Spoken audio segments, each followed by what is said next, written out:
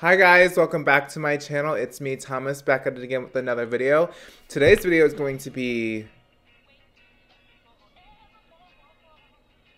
It's going to be an interesting one, if I do say so myself. I am going to be reviewing the Manny MUA Lunar Beauty Life's a Drag palette. I'm going to give you guys a full-on review. I know I am so late to this party, but I honestly really want to start giving you guys like better reviews. So like I have been playing with this for a since I got it in PR. I've had it for about I want to say a week, a week and a half, two weeks. I feel like I've had this for two, one or two weeks. I honestly can't remember. I have used just about every single shade in this palette except for the black one, and oh, just me and black eyeshadow just don't just don't get along too well and I just don't enjoy using black eyeshadow. So I have an eyelash stuck to the back of it. If you are not already subscribed, I'd love to have you a part of this little family I have going on here. We're pretty chill and we enjoy memes. A lot of people get mad that I say that and I... Of all the things to get mad at, you get mad at that. I mean, have y'all seen my brows? Get mad at that. Please give this video a huge thumbs up. It helps me out a lot. And please turn on the bell notification. Turn on my notifications. Seriously, it helps me out so much. And you guys will be notified when I post the video if you want to. You don't you don't have to. But if you want to, also a lot of you are asking me where I got the beauty blender holder.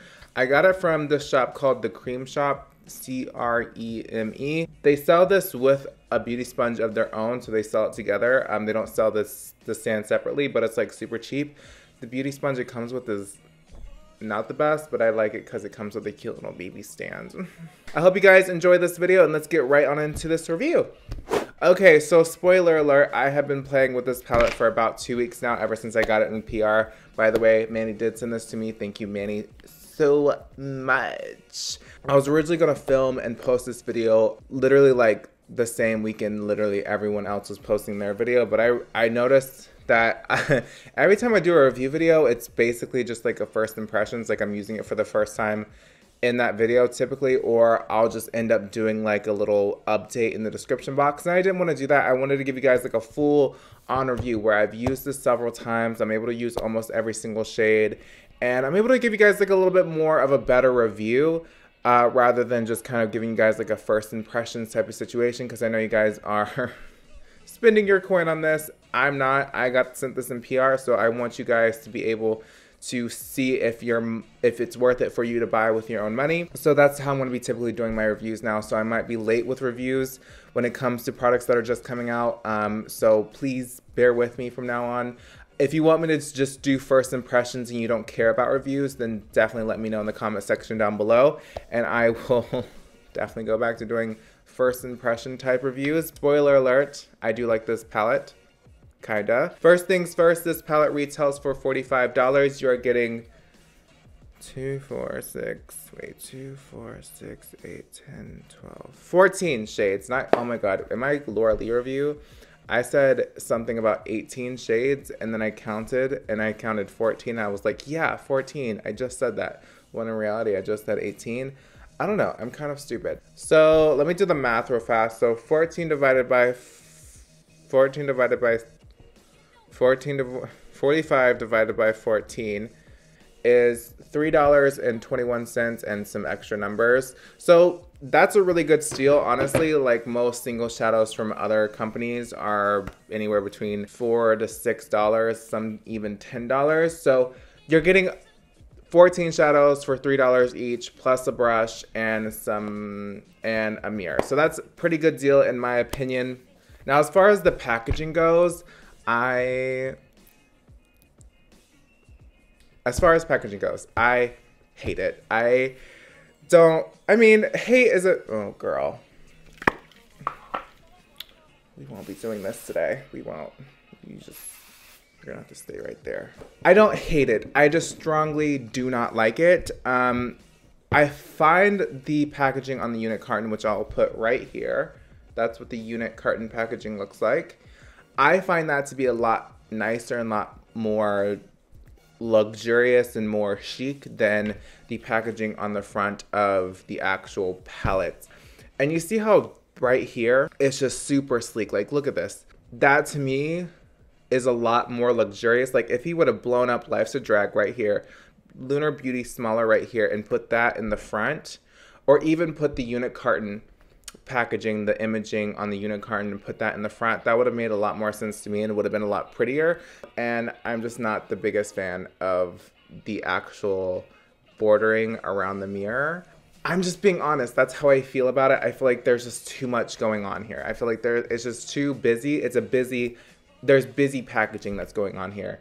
And I was a little disappointed to find that the first launch was based around drag because I don't know. I just was I think I was expecting not astrology but just like themed around the universe and like like that would have been so cool. That's just my opinion on that. Now the actual packaging, the weight of the packaging feels heavy. It feels like it feels like you're getting what you paid for. Most of you only care about what's inside the palette, so I totally understand if you don't give a shit about the actual packaging. I'm just a packaging snob. Yeah, and that's all I'm gonna say about that. Now let's actually get into the quality of the eyeshadows. Now, like I said, I've been using these eyeshadows. I've done like three other looks with this palette, mostly all halo eyes and cut creases. I don't wanna hear it, okay? And I will say it's a very good palette. The, there's pigment there. Like even this white, this white alone, as you can see, is very vibrant. What I like to do with my eyeshadow is I use my Urban Decay, and what you'll see in the demo, I like to use my Urban Decay primer potion in the shade Eden, I'll put that all over my lid, and I won't set it. Like, I'll just have it nice and tacky. And then I'll go in with my eyeshadow so the eyeshadow is as pigmented and as vibrant as possible. And that's what I like to do with my eyeshadow. Now, most of these shadows don't like oxidize on impact, like once it goes onto that tacky base. However, the colors do sometimes tend to have like that kind of oxidation where it's a little bit darker around the like the outer corners and that's completely normal especially with the yellow if you put the yellow i mean i did it with the yellow today and as you can see like the outer corners are just a little just the tiniest bit darker than the actual center of it and that's just because I put it on a tackier base. I was trying a different concealer to cut my crease with and I used the NARS Radiant Creamy Soft Matte Concealer to cut my crease and it was even more worse than an actual um, liquid concealer. That's a cream concealer. So maybe a liquid concealer is a little bit easier or better of an option to use.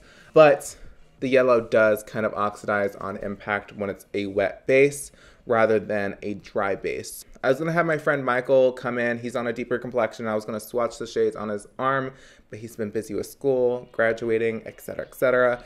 And our schedules are completely different, so I wasn't able to do that. But I will say about deeper complexions, I was watching Jackie's video while I was doing my makeup today, and she said that it worked great on her skin. She said she would recommend it for deeper complexions. So if you want a deeper complexion, I'll link her video down below if you guys want to see it in action on a kind of deeper complexion.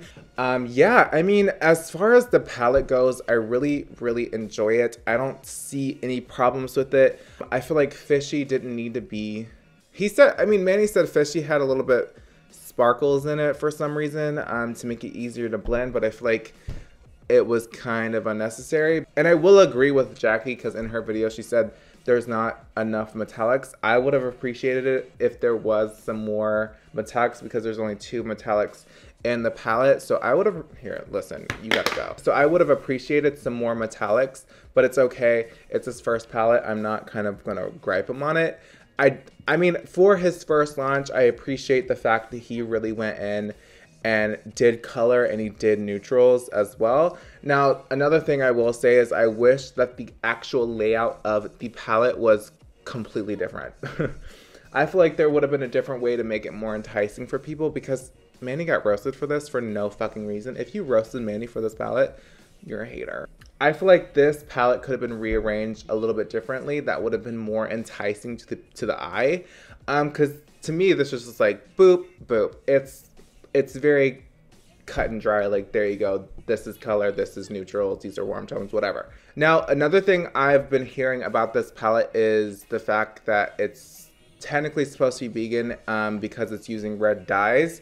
If you are sensitive to dyes rather than carmine, which is the bug thing, then I would stay away from this palette because it, I mean, I would stay away from most vegan palettes because they all have it. Jen Luv's Reviews did a whole video on the dyes and stuff like that that's in this palette and like did a full-on in-depth review and research on this palette as far as dyes go. So if you are concerned about that, I will link that down below as well. I'll have Jackie's video and Jen's video linked down below. This is beautiful. I feel like if you're on a deeper skin tone, this will work for you. I feel like if you love makeup, if you love to be creative, it blends beautifully. They're buttery. Now, I'm not going to do swatches. The reason why I'm not going to do swatches is because I don't think the swatch swatches of this do not do it justice. I'm going to be completely real with you. I mean, like the pink, that I mean, you look at it, it's a little patchy and chalky, but trust me, the colors apply so much more beautifully on the eye than they do swatching on the skin. I'm just gonna keep it real with you. I feel like people that judge palettes on swatches are unrealistic kind of people. That's just me. All in all, I really do recommend this this palette. I feel like it's a good palette. I think it's worth the money. I feel like if you guys are really interested in this palette, then definitely go pick it up if it's still available. I don't even know if it's sold out or not. Okay, listen, girl. Oh God, this bitch over here just thinking she can just do whatever she wants, and she can't. She can't do that. But as you can see, I did this beautiful yellow pink eye, a little bit of purple in there to match my top. That's from seanceclothing.com if you guys are wondering. My friends own that store, so definitely go support them. I definitely recommend this palette. Any information that I've mentioned or forgot to talk about in while I was talking and rambling for like 24 minutes, I will have on the screen and I will link all the information down below. And if I'll, I'll add more information down below as well. But besides that, I really recommend this palette. I think you guys will love it a lot. Congratulations, Manny, on this launch. It's a great palette. The shadows inside were amazing. Just this packaging This packaging, girl.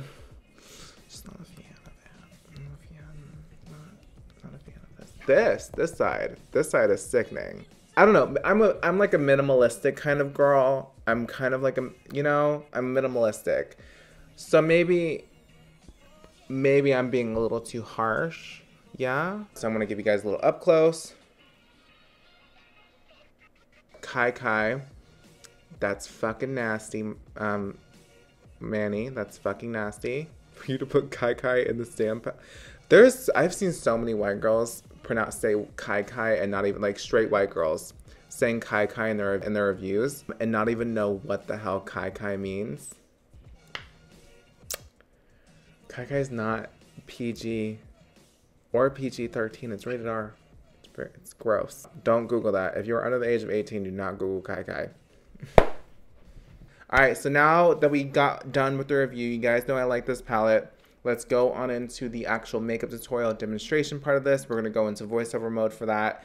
Um, I'm really excited for you guys to see this look because I really like this look. It's very pretty. I love how it matches my top. I usually never match my makeup to my top. Anyways, I love you guys. Let's get on in into this makeup tutorial. Alright, so I'm first going to prime my eyes with my Urban Decay Eden Primer Potion. I will not set this at all. I don't like setting my primer. I like having a tacky base to apply my eyeshadow. It really makes the eyeshadows pop with pigment. Transition shade, I'm going to go into the shade Sickening. Um, just to put that all over the crease as just like I said a transition color. I don't know if that makes any sense, but that's what I'm doing. I don't even know why I use this as a transition shade. Now I'm going into the shade Kai Kai. Manny, you nasty for that.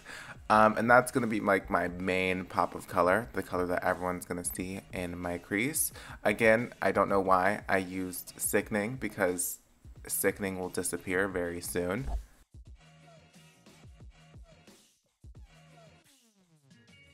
Now going into Pageant Queen, which is a nice, beautiful purple. It reminds me of Gooey Gus. Has anyone watched Goosebumps as a kid? You remember Gooey Gus? Do you remember being traumatized by Gooey Gus? Yeah, me too.